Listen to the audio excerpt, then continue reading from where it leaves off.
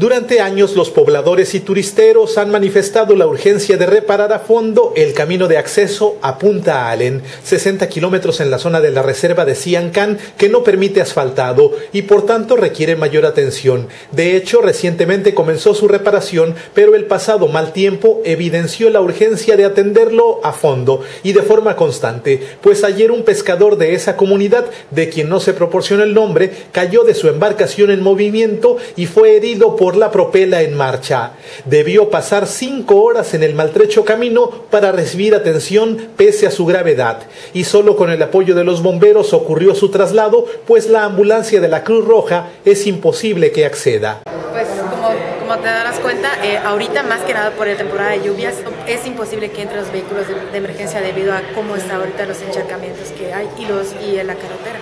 Eh, como te das cuenta, eh, el accidente que tuvimos hace pocos días, propelado, eh, se nos hizo muy difícil, con protección civil te digo que se hizo muy difícil ya que la Cruz Roja no puede entrar a la, por lo tan dañado que está la vialidad de ese lado.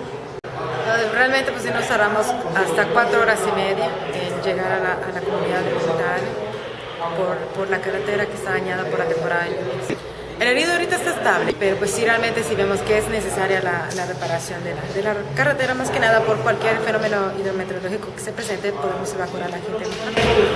La comunidad de Punta Allen tiene una población de 300 habitantes, pero un número flotante de visitantes ocasionales que pernoctan ahí. Además de la vía Tulum-Punta Allen, otro camino más corto comunica desde la carretera 307 o federal con un breve tramo de recorrido por mar. Se denomina El Playón, pero al igual que el acceso a la zona de los Chunes en Felipe Carrillo Puerto, por ahora está inundado e inaccesible.